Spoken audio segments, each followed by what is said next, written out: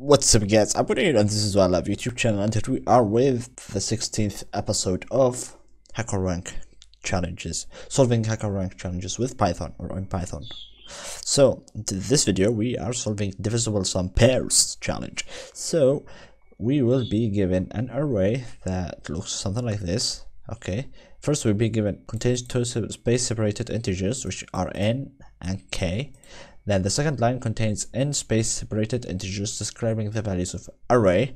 We will like arrays index 0, array index 1 up to array index n minus 1. So the output format would be so I will we'll get to the sample right now. Just um, so the print uh, the output format will be print the number of i and j pairs where i is less than j and a index i plus a index j is evenly divisible by k. So let's take this input, sample input. We're getting n and k. Okay, so n is the 6, k is the 3. n is basically the length of the list, okay? Then we'll be given 1, 3, 2, 6, and 1, and 12, uh, and 1 and 2 as a list. So the sample output would be 5. Why 5? Because we have okay let's see. So we have 0 and 2 okay index 0 and 2 gives us what? 3 okay so this result which is 3 is divisible by k. So divisible without remaining i mean. Or also known as divisible evenly. So then we get the index 0 and index 5 so we get 1 and 2 this gives us 3 we have also 1 and 3 this is 1 and 3 gives us 9 we have 2 and 4 this is 2 and 4 this gives us 3 and this gives us 3 and since all those numbers are evenly divisible by k so those are the the pairs okay? Or the divisible pairs which are divisible by k so the sample output would be the amount of pairs we have. Perfect. So now what we want to do over here. So oh my god I just removed the colon. So array we have the array we have n we have, we have k. So first thing we want to do is keep track of how many pairs we have. So we'll make pairs counter we'll make it zero since we start without without any pairs. Then we want to loop through the range of okay n which is the length of the list minus 1 we don't want to go to the end of the list because we're not like keep a distance since we are working with pairs.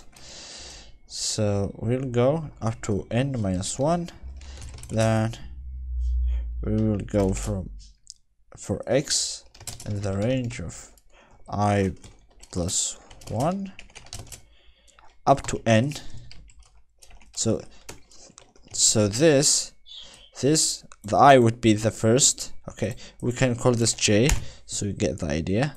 So for i in the range of n minus 1 okay and then for j in the range of i plus 1 so we're going from the second index that's after i up to n.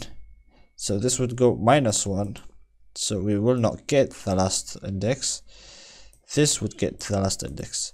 And this would be ahead of this by or so the j will be ahead of the i by one index. So basically we are getting the two pairs. So so we've got this.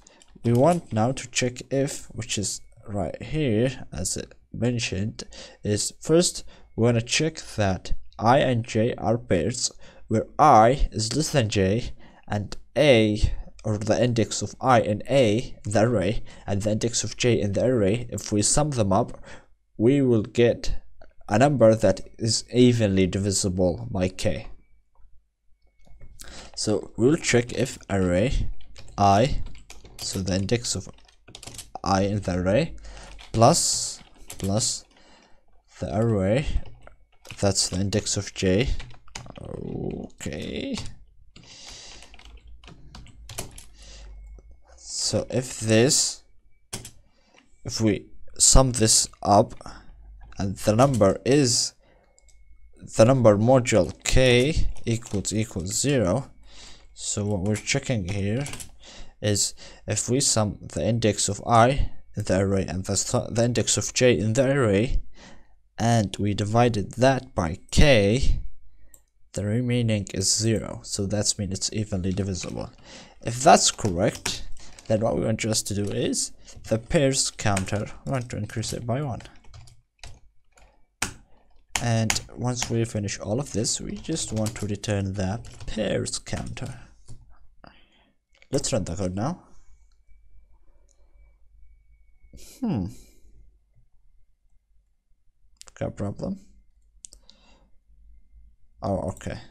For i and the what what's the problem syntax. That's kind of weird.